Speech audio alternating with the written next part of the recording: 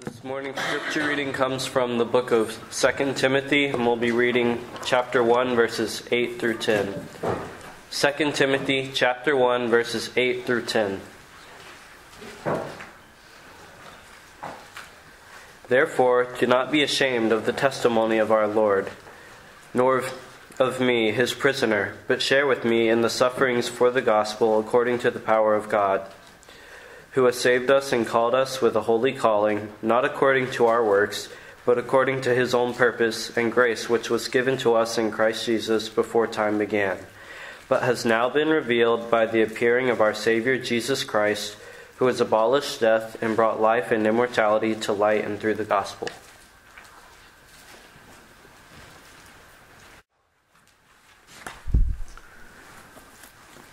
One of the things that's hard for me to grasp sometimes is number one,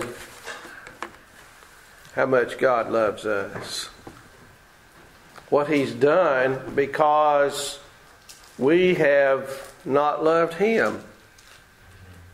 We have not lived as people who please God. But God, in His love and mercy and wisdom, in the text that Will just read to us, had a plan for our spiritual problem before time began. Because he knew what we would do. And because he knew what we would do, he had already planned to take care of our greatest need, and that's forgiveness. In Romans chapter 8, 5, and verse 12, the scripture tells us that sin came into the world through one man, and death through sin. And so death spread to all men because all sinned. Death means separation. Sin fundamentally means to miss the mark or to transgress God's law. 1 John 3 and verse 4 says sin is transgression of the law or lawlessness, depending on your translation. I want you to move back with me in time to probably the saddest chapter in all the Bible, and it's the third chapter of Genesis, where Satan tempts Eve. Adam, there in her presence, gives in to the temptation that Satan sets before them eating of the forbidden fruit of the tree of the knowledge of good and evil. God is dead serious about sin. He's very serious about His will being done.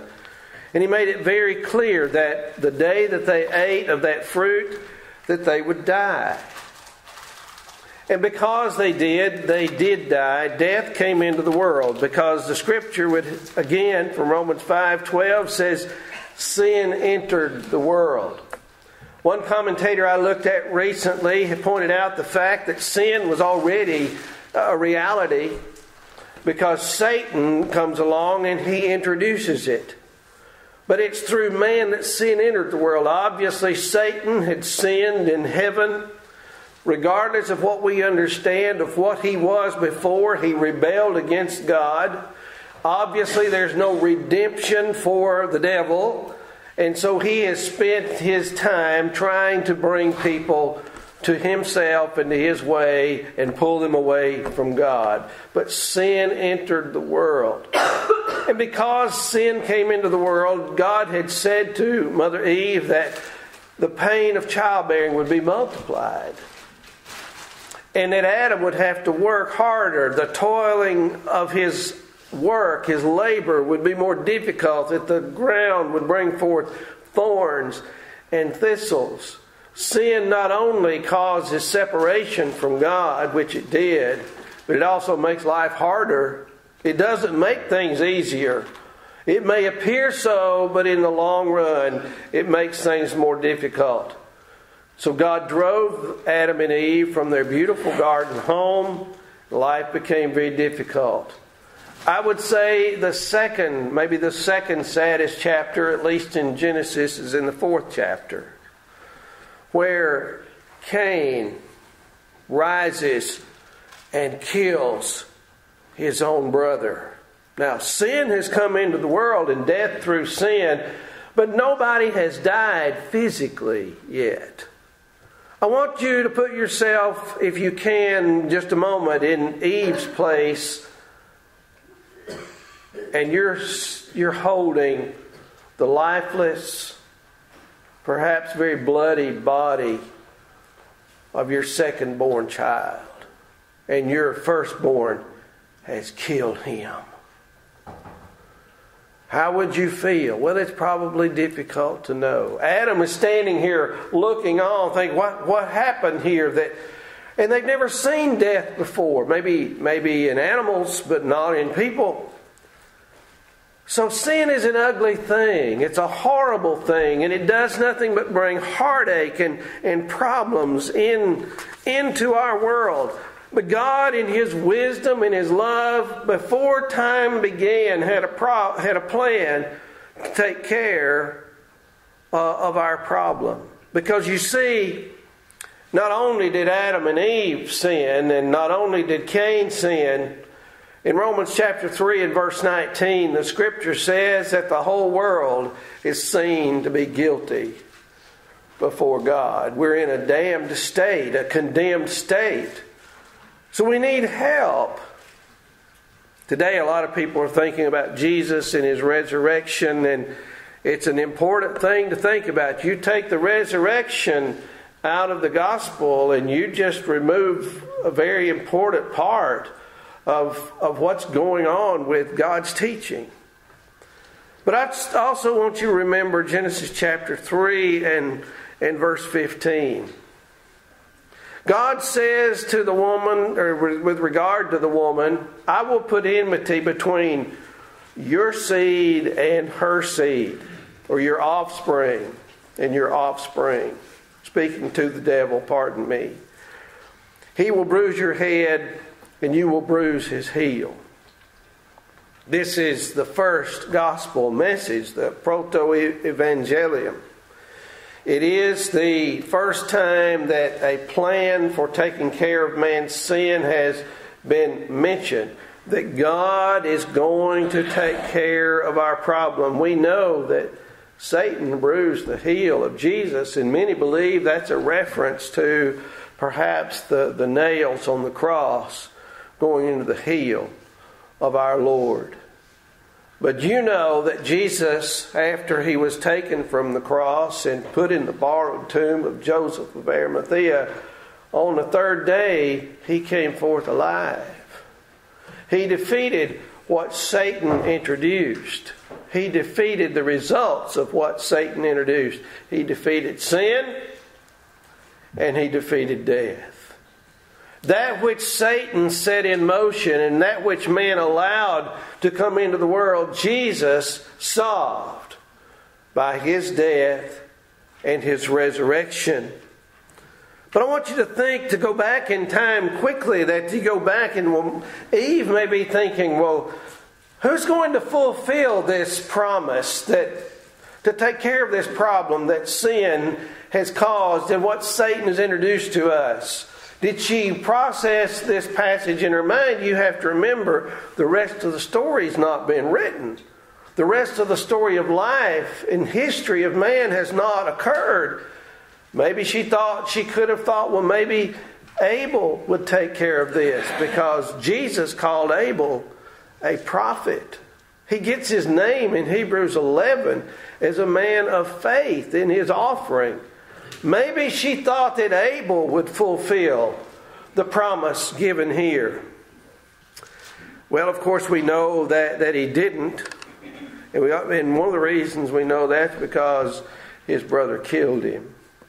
Then you move down a little further in time and you read about a man named Enoch. Now, the Bible says in Genesis chapter 5 and verse 24 that Enoch walked with God. Maybe people thought someone like Enoch might fulfill this promise to, to crush or bruise the head of Satan. Maybe he would solve this problem, but we know that he was not, for, for God took him. Then you go into Genesis chapter 6 and you read about a man by the name of, of Noah. The Bible says that Lamech, who was Noah's father, said when Noah was born, said, This one will give us rest or comfort from our work and from the toil of our hands, arising from the ground which the Lord has cursed. Did Lamech think that maybe Noah would fulfill this promise that was given to, to Eve and Adam and the curse that was pronounced on Satan, that maybe Noah would be the one? And, and especially, you know, we, we look at the situation with his life. The Bible says in Genesis 6 and verse 9 that Noah was a righteous man, blameless in all his generation. What did they think? Noah might fulfill this promise to, to answer the problem of sin? Then you move to Genesis chapter 11 and you find people trying to build a tower to God, and you might start raising the question well, it seems like it's not going to be answered. Somebody noted recently that from Genesis chapter 1 to chapter 11 covers 2,000 years of human history. And then the next major event in chapter 12 is Abraham. And from Abraham to Revelation, 2,000 years of human history. The Bible basically covers 4,000 years of human history. What did God say in Genesis 12 to Abraham? Well, He made a promise to him that, that through him and his offspring, many nations would be blessed. Maybe people started to think, well, finally, this promise is going to be fulfilled. And somebody that's born from, from Abraham, we really don't have people saying this, but you have to wonder who would fulfill this? When would this happen? Well, you know, Abram and Sarah were very old when that God talked to them about having this child that would be born to them in their old age, and it was obviously a miracle that it happened. And you remember that Ishmael was born because they got too impatient with the situation, but he was not the son of promise. The son of promise was Isaac. You have Abraham, Isaac, Jacob, and Joseph, and all that generation of people. And you think, what did God say to him? Through him and his offspring, his seed, many nations of the earth would be blessed. Regardless of what people were thinking, we're seeing God's plan begin to unfold here. That He had a plan. When you read those genealogies in the Old Testament, don't you dare get bored. Those genealogies are there for a very powerful spiritual reason, especially when you read the Gospel of Matthew. You begin with Abraham. And of course, Matthew was a gospel written to the Jewish people. You begin with Abraham. They really believed in Abraham. And it talks about David all the way down to Joseph, the physical father of Jesus. We know God fathered him through the Holy Spirit. But genealogically speaking, and then you read Luke's account, Luke chapter 3, you have the genealogy uh, uh, that comes down to Mary, and it goes all the way back to Adam, who Luke says was the son of God, because Adam was made by God. Those genealogical records are there for a reason. To trace the, the genealogy all the way back and, and to prove that whoever was born to Mary and the man who was married to her by the name of Joseph was the fulfillment of the promise that God had made to Abraham. Well, you know that he made a covenant with Abraham, he made a covenant with Isaac, and he made that covenant with, with no one else. And then you come down to Abraham, Isaac, Jacob. What about Jacob's sons? And you have Joseph, and then, then you have Judah. What does the Bible say about Judah? with regard to Judah, the lion of the tribe of Judah, Genesis 49 and verse 10. The scepter shall not depart from Judah, From which tribe did Jesus come? The tribe of Judah. The scepter shall not depart from Judah, nor the ruler's staff from between his feet, until Shiloh comes, and to him shall be the obedience of the peoples. Go back and look at how Matthew begins his genealogy in Matthew chapter 1, talking about Abraham and David. And, and then you look at Psalm 89, verses 3 and 4. I've made a covenant with my chosen. I've sworn to my servant David, Your seed I will establish forever and build up your throne to all generations. Now you move forward to Isaiah chapter 6, rather 9, verses 6 through 7. Isaiah 9, 6 and 7. For unto us a child is born, unto us a son is given all the government will be upon his shoulder, and his name shall be called Wonderful Counselor, Mighty God, Everlasting Father, Prince of Peace.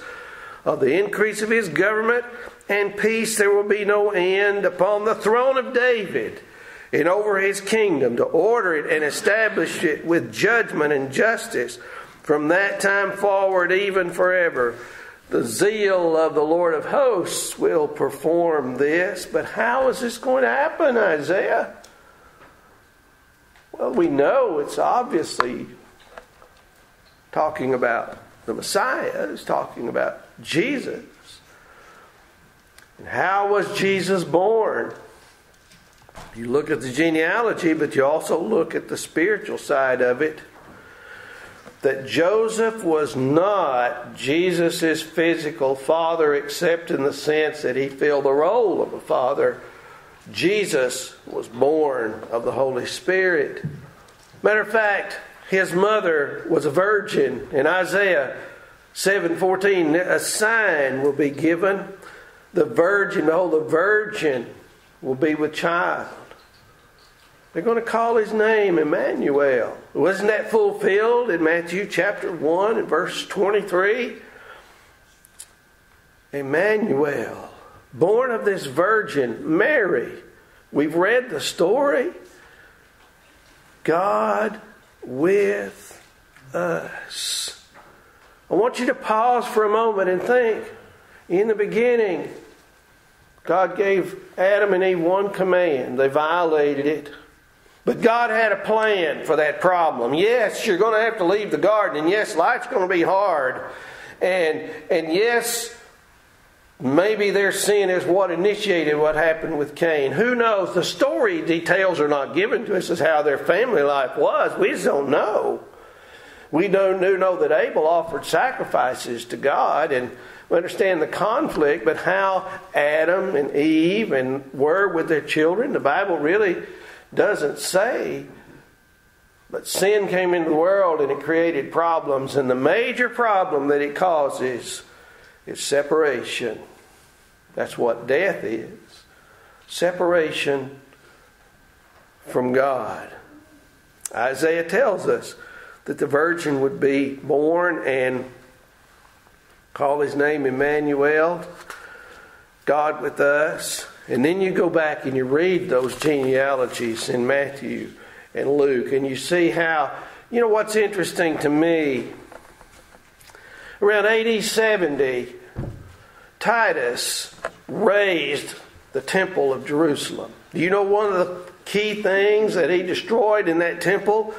Were all the genealogical records of the Jews. There's not a Jew today who can take, can give you his genealogy unless he goes back like we do in ours, but he cannot connect himself to anyone from that time period. And isn't it interesting when you do have the genealogical records in Matthew and Luke, they stop at Jesus? There's a reason for that. God accomplished what he said he would do through the offspring or the seed of woman, finally bringing Jesus Where was Jesus born? Well, we read in the gospel accounts he was born in Bethlehem of Judea. Micah prophesied this in Micah chapter 5 and verse 2. But you, Bethlehem Ephrathah, there were two Bethlehems. This one was very small and very specific. But you, Micah 5 2 again, but you, Bethlehem Ephrathah, through you, though you are little among the thousands of Judah, there's your connection to Judah again. Yet out of you shall come forth to me the one to be ruler in Israel, whose goings forth are from old, from everlasting. What did John say? In the beginning was the Word, and the Word was with God, and the Word was God, and the Word became flesh and dwelt among us. John 1 1 through 3 in chapter, verse 14 of John chapter 1. Jesus has not always been, but the Word has. When he was born, they gave him the name Savior. That's what Jesus means. He also was the Christ, the Anointed One, or the Messiah, depending on which language that you choose. Messiah in Hebrew, Christ in Greek, the Anointed One. Well, whose son is he then? I love these kinds of studies because I'm going to tell you something. I need to know who Jesus is. I need to know when I stand and confess Him anywhere who I'm talking about. I believe that He is eternal. I believe He's the Son of God without question. I believe that He lived, regardless of some of the modern day critics. Jesus lived. We have four accounts of gospel records that attest to that fact. Jesus not only was born, but He lived. But he asked the Pharisees. The Pharisees, they were all gathered together. I'm in Matthew 22, verses 41 and following. When the Pharisees were gathered together, Jesus asked them, saying, What do you think about the Christ? Whose son is he? They said to him, The son of David. You see, they knew. They knew who the Christ would come from. He said to them, Then how does David in the Spirit call him Lord. What? Oh, that's Psalm 110, verse 1. The Lord said to my Lord, Sit at my right hand until I make your enemies my footstool. The Lord said to my Lord, Sit at my right hand until I make your enemies your footstool. How, how, does, how does he do that? If David calls him Lord, how is he his son? You know, the Pharisees couldn't answer that. And it's not because it was complicated, it's because they hadn't been listening to Jesus all along. That's another hint, powerful hint of the deity of Christ. David said 1,000 years before Jesus was born, the Lord said to my Lord, ultimately from his offspring, the Lord Jesus would come, the Messiah would come, and he would take care of, of our problem. We read the gospel accounts, and it's a wonderful thing to do. I like to read McGarvey's fourfold gospel. McGarvey's fourfold gospel is a work J.W. McGarvey did, and he took all the gospels and put them in what he understood to be chronological order. And it's a wonderful way to study the gospel accounts. And I think you can buy it now. It, it's uh, you might be able to get it electronically. I'm not sure, but so, and watch from the time that John introduces Jesus and his life all the way through. Well, finally, the Jews got the Romans to kill him. And brethren, I don't care. I know he's alive. But that was a horrible thing that happened to our Lord to be put to death as he was, to be treated as a common criminal, to be treated as garbage, to be put on a garbage hill, a place where criminals were killed. That's where they took our Lord. God's promise was true and it was fulfilled in his birth and his life. The place of his birth is very specific. And his death. What about this death? What does Isaiah have to say some 700 years before Jesus was born in the 53rd chapter? Who has believed what he has heard from us? And to whom has the arm of the Lord been revealed? For he grew up before him like a young or tender plant and like a root out of dry ground. He has no form or majesty that we should look at him, no beauty that we should desire him. Matter of fact, Isaiah says he was despised and rejected by men, a man of sorrows and acquainted with grief. And as one from whom men hide their faces, he was despised, and we esteemed him not.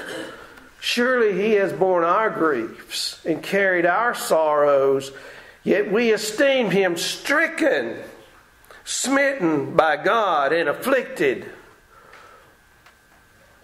But he was pierced for our transgressions. He was crushed for our iniquities. Upon him the chastisement that brought about peace was the chastisement that brought us peace, and with his wounds we are healed. All we like sheep have gone astray. We've turned everyone to his own way, and the Lord has laid on him the iniquity of us all. He was oppressed and he was afflicted, yet he opened not his mouth. Like a lamb that is led to the slaughter, and like a sheep that is before its shearers is silent, so he opened not his mouth. By oppression and judgment he was taken away. And as for his generation, who considered that he was cut off out of the land of the living, stricken, stricken for the transgression of my people? And they made his grave with the wicked, with a rich man in his death although he had done no violence, and there was no deceit in his mouth, yet it was the will of the Lord to crush him. He has put him to grief. When he's, his soul makes an offering for guilt, he shall see, watch this, there's a transition. Watch this. Listen to what God said to Abraham From your seed, many nations of the earth will be blessed. For he shall see his offspring, he shall prolong his days, the will of the Lord shall prosper in his hand. Out of the anguish of his soul he shall see and be satisfied by his knowledge shall the righteous one, my servant, make many to be accounted righteous, and he shall bear their iniquity. Therefore I will appoint him a portion with the great and divide the spoil with the strong because he poured out his soul to death and was numbered with the transgressors. Yet he bore the sin of many and makes intercession for the transgressors. How could he make transgress make intercession for the transgressors? Well, you read the end of the gospel accounts and you find that Jesus is alive after three days. That is the crushing blow to the head of Satan who brought sin and death into this world.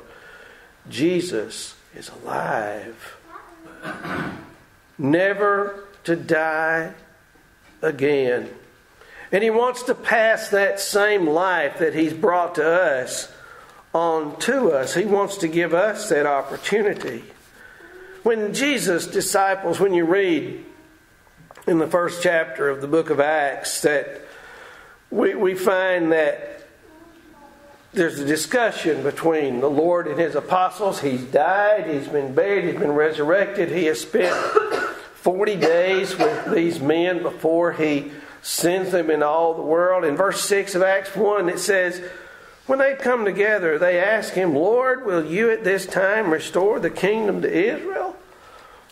They're still looking, and we're looking for an earthly kingdom because that's what they thought would be fulfilled in God's promise to David. You remember what Jesus said to Pilate My kingdom is not of this world. It's not a world, it's not an earthly kingdom. He said to them, It is not for you to know the times that the Father has fixed by his own authority. But you will receive power when the Holy Spirit has come upon you, and you will be my witnesses in Jerusalem and all Judea and Samaria and to all the end of the earth. And when he had said these things, as they were looking on, he was lifted up, and a cloud took him out of their sight. And while they were gazing into heaven as he went, behold, two men stood by them in white robes and said, Men of Galilee, why do you stand looking into heaven? This Jesus who was taken up from you into heaven will come in the same way as you saw him go in to heaven. And then you move over into the second chapter and you get into the middle of Peter's sermon on Pentecost. And David said, beginning with verse 25, Well, I saw the Lord always before my, me, and he is at my right hand, that I may not be shaken. Therefore, my heart was glad and my tongue rejoiced. My flesh will also dwell in hope. For you've not abandoned my soul to Hades, or let your Holy One see corruption. You've made known to me the paths of life.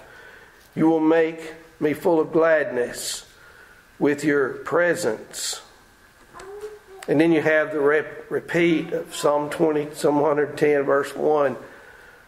Over in verse 34, the Lord said to my Lord, Sit at my right hand until I make your enemies your footstool. When, when I think about when I think about this, we have moved quickly through the pages of time. But we've moved through these pages of time quickly and yet very pointedly that God had a plan to take care of our sin problem. Eve didn't understand it. No doubt the Jews over the years kept asking, well, when's this Messiah coming? When will this be fulfilled? Look at all these good people that we have known, and, and they didn't fulfill it. You know what amazes me, brothers and sin, brothers and sisters and friends? the Jews who should have known him couldn't see it. That just amazes me. I guess that is the ultimate of spiritual blindness. Aren't you thankful that you believe it? You can see it. That Jesus came and He lived among us and, and He taught and he, he did His miracles and, and He willingly gave His life and He died and he rose again, and he sits at God's own right hand. Why is this powerful for us? Turn with me to Revelation chapter 1, verses 17 and 18, and listen to what Jesus says to John as we see this last book of our New Testaments. When I saw him, John said, I fell at his feet as though dead. But he laid his right hand on me, saying, Fear not. Who are you, Lord? I'm the first and the last, the living one. I died, and behold, I'm alive forevermore, and I have the keys of death and Hades. It's so important for us to recognize we talk about the resurrection, and there's a lot we could say about that, but ultimately, the resurrection means that Jesus is alive and he lives. Matter of fact, he intercedes for us. He's our advocate. 1 John 2 and verse 2. If anyone sins, we have an advocate with the Father, Jesus Christ the righteous. Now, I can't see him, but I can hear him through Scripture. I believe his promises. Why then did God do all this? Because I had this, this great need. You see, Paul said that we're not guilty of Adam's sin, but he says in Romans 5:12 that we all died because we all sinned. God does not want us to be separated from him. And so he made provision to make it possible for us to be reunited with him. Not only on this earth, not only here. Jesus says, I'm alive forevermore, but to be with God the Father for all eternity. So Paul would say, as he wrote to Timothy, his last letter, perhaps the last letter he ever wrote, from a prison cell in Rome, he said, Therefore do not be ashamed of the testimony of our Lord, nor me as prisoner but share with me in the sufferings for the gospel according to the power of God who saved us and called us with a holy calling, not according to our works, but according to his own purpose and grace which was given to us in Christ Jesus before time began. But he says, but now has been revealed by the appearing of our Savior Jesus Christ. Listen to Paul and listen carefully. Who abolished death and brought life and immortality to light through the gospel. And we're going to die physically. It's Hebrews 9, verse 27. It's appointed unto men once to die, and after this, the judgment. But a person who belongs to Christ is immortal. You will be in the Hadean realm until the judgment, and your body will be in the grave some way. But there's a promise of eternal life, and the reason the promise is valid is because Jesus fulfilled the promise that God made about the seed or the offspring of woman in Genesis 3:15 through his son Jesus Christ. Now, can't we live for him? Can't we live for a living Savior who ever lives to intercede for us? What a wonderful thought and, and plan that God had. And it's wonderful when you fill in all the gaps and all the spaces. But He brought life and immortality to light through the gospel. What is the gospel? It's the death, burial, and resurrection of Christ. When a person is baptized into Christ, they're baptized into His death, Romans 6 and verse 3. And verse 4 says they rise to walk in newness of life. And you know, if we're faithful, because Jesus is alive, if we're faithful, we'll receive a crown of life. And nobody can take it away. Are you living for heaven? Is a promise of heaven your home this morning? If there's some way we can serve you, please come as we stand and Steve leads us.